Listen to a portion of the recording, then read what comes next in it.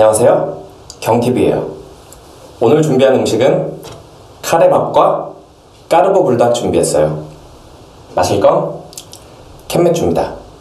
그럼 맛있게 먹겠습니다.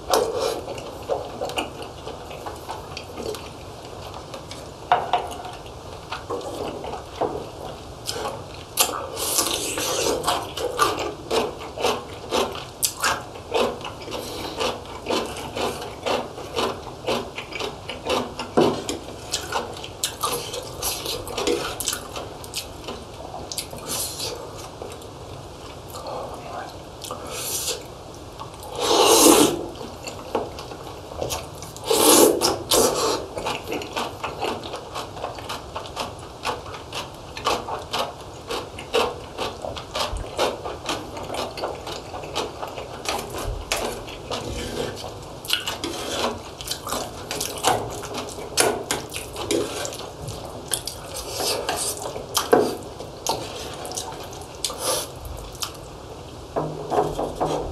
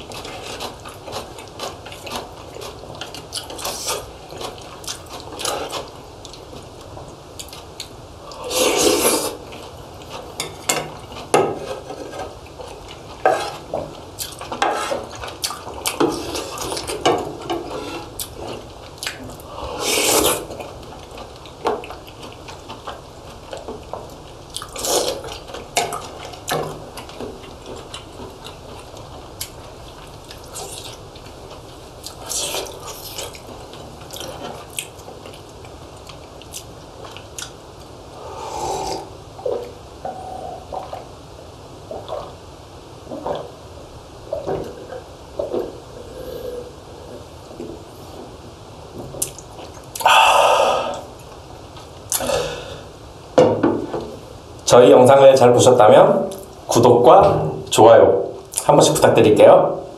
그럼 지금까지 경TV였습니다. 감사합니다. 안녕.